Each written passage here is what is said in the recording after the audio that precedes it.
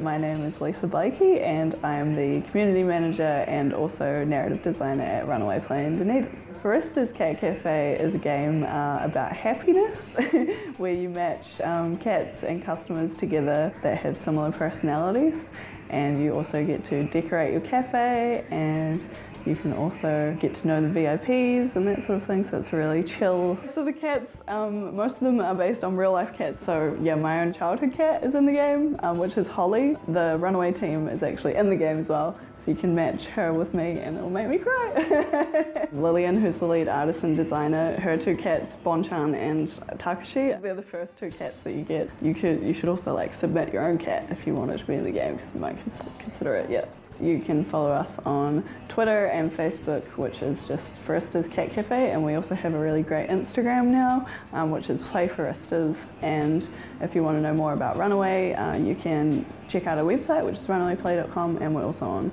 Twitter and Facebook and Instagram as well. We're everywhere.